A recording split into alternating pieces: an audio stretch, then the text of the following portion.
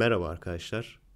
Gece sahilde otururken gökyüzünde parlak bir cisim gördüğünüzde herkes ''Aa UFO'ya bak'' derken siz ''Hayır, o Jüpiter'dir.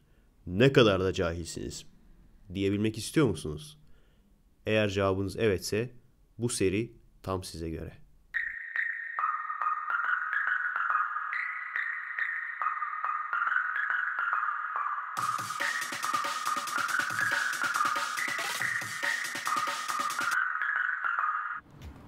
Öncelikle en çok karıştırılan iki cisimden bahsedelim.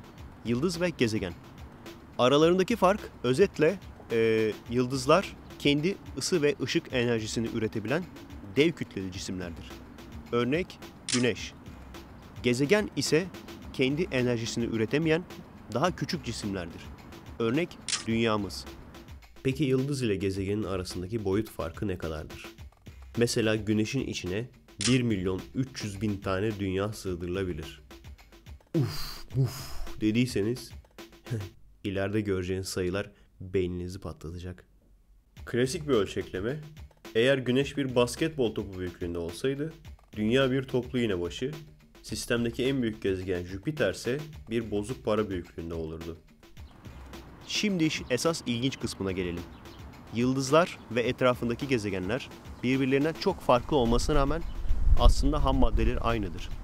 Peki nasıl oluyor da ham maddeleri aynı olmasına rağmen bu kadar farklı oluyorlar?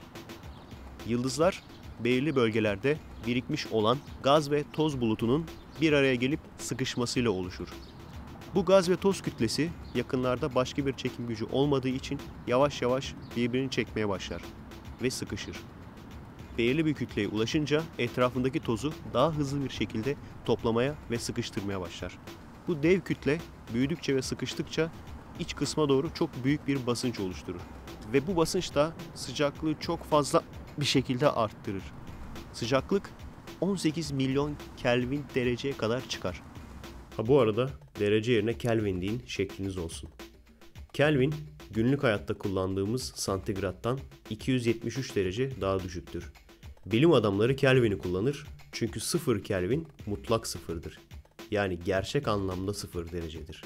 Gaz ve toz kümesindeki merkez sıcaklık 18 milyon Kelvin olduğunda basınç ve sıcaklık o kadar yüksektir ki hidrojen atomları sıkışarak birleşir ve helyuma dönüşür.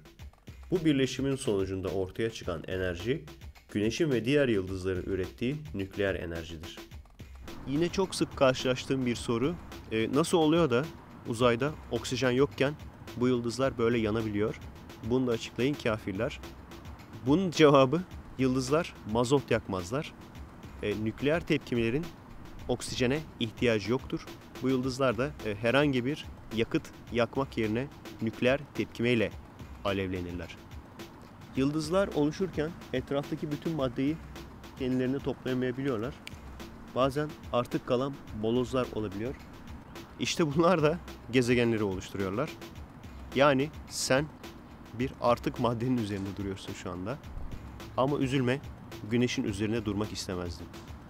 Evet, görmüş olduğunuz üzere yıldız gibi alevli cisimlerle bir daş parçası aslında aynı maddeden geliyor. Peki neden bütün bu cisimlerin yuvarlak olduğunu merak ettiniz mi? O da çekim kuvveti yüzünden. Çünkü bu toz kümeleri bir araya gelirken ve sıcak lav halinde şekillenme aşamasındayken merkezden dışarıya doğru aynı mesafede, aynı ölçüde çekiliyor. Böylece cismin yüzeyinin her noktası merkeze yaklaşık aynı uzaklıkta oluyor. Peki yıldızları oluşturan bu gaz ve toz bulutu nereden geliyor? O da daha önce yaşamış ve ölmüş olan yıldızlardan. Peki onların maddesi nereden geliyor? O da Big Bang'den. Bir sonraki videomuzda Güneş sisteminin içindekileri göz atacağız. O zamana kadar kendinize iyi bakın.